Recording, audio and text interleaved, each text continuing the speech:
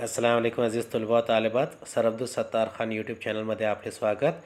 Eighth Marathi composite सातवा पाठ है, ध्येय पूर्तिचा ध्यास प्रश्नोत्तर और स्वाध्याय। सवालात के जवाब और सरगर्मी की वीडियो में आप तमाम का इस- इस्तकबाल है। हमारा वीडियो पसंद आए तो इसे लाइक कीजिए शेयर कीजिए, हमारे चैनल को सब्सक्राइब कीजिए, इस वीडियो को आखिर तक देखिए। चलिए शुरुआत करते हैं प्रश्न पहला, आकृति पूर्ण करा। सुंदर पक्षी कसा होता, तिची चोच, पिसे आणि पोट आकार। इसके उत्तर है, सुंदर पक्षीची चोच लालसर पिसे निळी मोरपंखी पोट पोपटी, आकार चिमणी, एवढा। आवडणाऱ्या पक्षाबरोबर मुलाला काय काय करायचे होते ये चार आप पॉइंट लिख सकते हैं? आवडणाऱ्या पक्ष्याबरोबर मुलाला पक्षी पुन्हा पाहण्याची इच्छा होती. पक्ष्याला पकडायचे होते. मोरपंखी पिसावरून हात फिरवायचा होता. पक्ष्याला गोंजरायचे होते. प्रश्न दुसरा वृद्ध झालेल्या मुलांनी जगाचा निरोप घेताना केलेल्या कृतींचा आणि घटनांचा अवघ तक्ता तयार करा. यानी ये फ्लो चार्ट है इसके जवाब आपने मुकम्मल करने हैं। हमने इसे जवाब में एक साथ लिखा है, श्रांत वृद्ध बर्फाचा शय्येवर हो तो। पहले का उत्तर का पहला पॉइंट है, श्रांत वृद्ध बर्फाच्या शय्येवर आड़वा हो तो। यानी बर्फ़ का जो बर्फ़ पड़ी है, वहाँ पर वो बूढ़ा शख्स म्हातारा हो गया है, वृद्ध यानी बूढ़ा, वो आड़ा पड़ जाता है। मृत्यूची वाट पाहू लग तो वो मरने का इंतज़ार करता है। जीवनाचा पट पुन्हा एकदा उलगडतो. यानी ज़िंदगी का जो पूरा मंजरनामा एक बार दोबारा उसके सामने जवाजे होता है। रिकाम्या आभाळाकडे पाहतो खुल्या आसमान की तरफ़ देखता है। एक पीस त्याच्या उतान्या हातावर पड़ते। एक परिंदे का पंख जो है वो उसके हाथ पर पड़ता है। सौंदर्याचा साक्षात्कार होतो। यानी खूबसूरती से वो दूबदू होता है। चेहऱ्यावर हास्य फुलते जगाचा अखेरचा निरोप घेतो। चेहरे पर हँसी आती है और दुनिया से वो विदा लेता है। प्रश्न तिसरा कारणे शोधा। जंगलवासी मुलगा पाणी पिण्याचे विसरला कारण। जंगलवासी मुलाच्या पक्ष्याचा शोध चालूच होता कारण। वृद्ध झालेला मुलगा उंच पर्वत चढू लागतो कारण। प्रश्न चौथा तुमच्या शब्दात लिहा, जंगलवासी मुलाला ते पक्षी इतका का आवडला असेल? याचे स्पष्टीकरण तुमच्या शब्दात लिहा. ही लोककथा अनेक वर्षापासून सांगितली जाते. याचे लेखकाने सांगितलेले कारण तुमच्या शब्दात लिहा. मोठेपणी तुम्हाला कोण व्हायचे आहे? तेच का व्हायचे आहे ते स्पष्ट करा. अब जंगलवासी जो लड़का है वो पानी पीना क्यों भूल गया था? इसका जवाब उत्तर देखेंगे। जंगलवासी मुलगा पाणी पिण्याचे विसरला उसका कारण क्या है? त्या पाण्यात त्याला एक सुंदर पक्ष्याचे प्रतिबिंब दिसले. यानी उसे उस पानी में एक बहुत खूबसूरत परिंदे का अक्स दिखा. जंगलवासी मुलाचा पक्ष्याचा शोध चालूच होता कारण. यानी जो जंगलवासी बच्चा था, वो पक्षी का ढूंढ रहा था, उसकी वजह क्या है? कारण त्याला तो आवड, आवडता सुंदर पक्षी हवा होता. यानी उसे वो खूबसूरत परिंदा चाहिए था.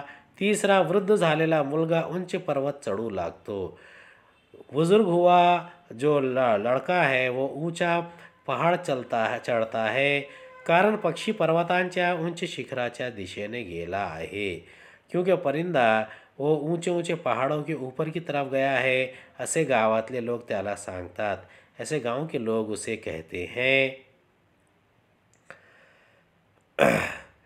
उसका उत्तर है, जंगलवासी मुलाला एक विलक्षण सुंदर पक्षी दिसला।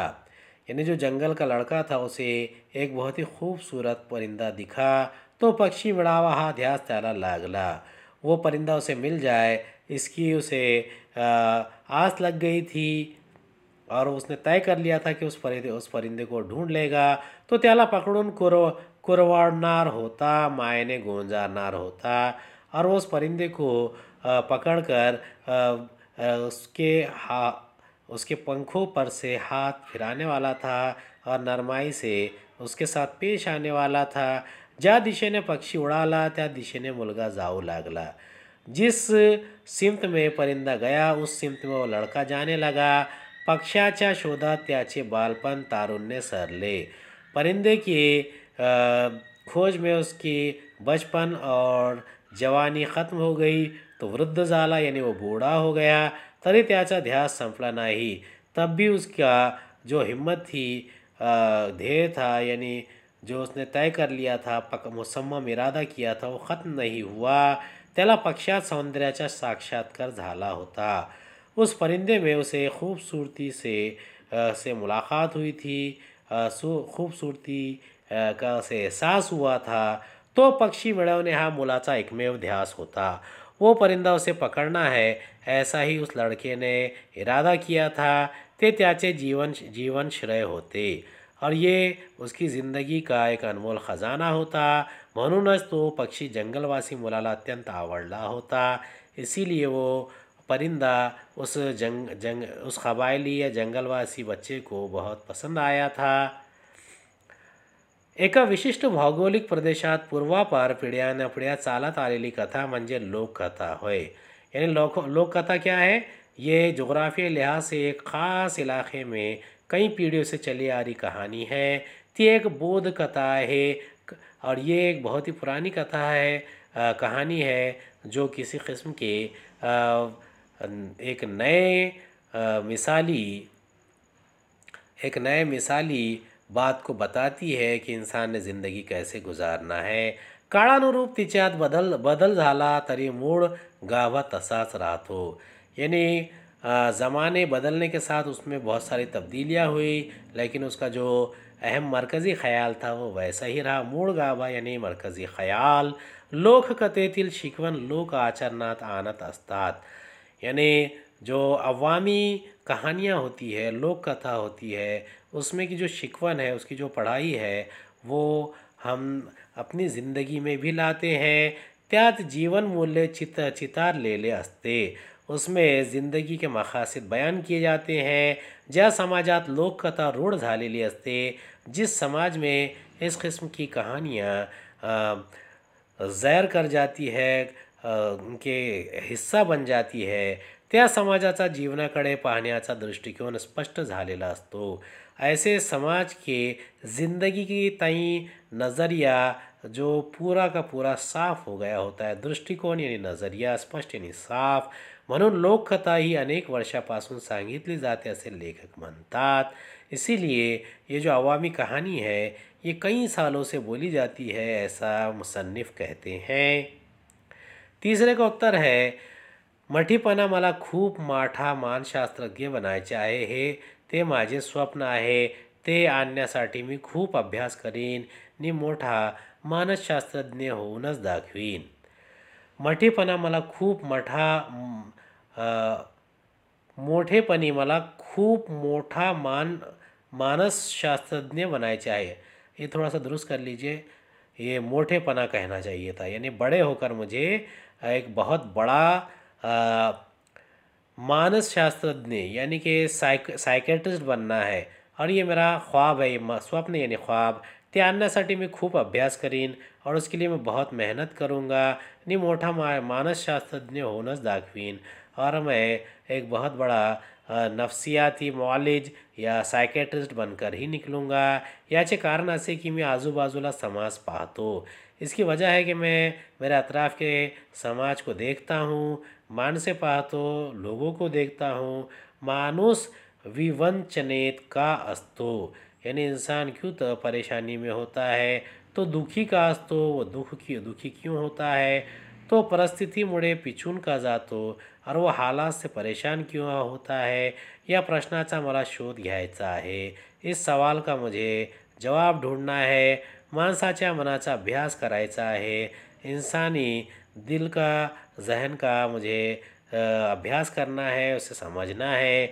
मन जाणून घेऊन ते कसे कणखर व सशक्त करता येईल? दिल को समझकर उसे किस तरीके से हम ताकतवर बना सकते हैं, याचे मी प्रयोग करणार आहे। इसका मैं तजुर्बा करने वाला हूँ। त्यासाठी मानशास्त्रज्ञ होण्याची मी मनोमन निर्धार केला है इसलिए मैंने नफसियाती मॉलेज साइकेट्रिस्ट बनने का दिल में यकीन कर लिया है, दिल में इरादा कर लिया है, निर्धार यानी इरादा। ये व्याकरण कृति में का पहला है, खालील वाक्य प्रचारांचे योग्य अर्थ शोधा। त्राण ना उरणे जगाचा निरोप घेणे उसके बाद है, खालील विरुद्धार्थी शब्दांच्या जोड्या जोडवा तरुण, कुरूप, पलीकडे पायथा पहले का उत्तर है त्राण त्रास ना उरणे त्राण ना उरणे ताकद ना उरणे दूसरा है जागा, जगाचा निरोप घेणे, जग कायमचा सोडून जाणे. अब ये विरुद्धार्थी शब्द है तरुण, म्हातारा, कुरूप, सुंदर, पलीकडे, अलीकडे, पायथा, शिखर. उम्मीद है ये वीडियो आपको पसंद आया होगा। अगली वीडियो में दोबारा मुलाकात होगी। खुदा हाफिज़।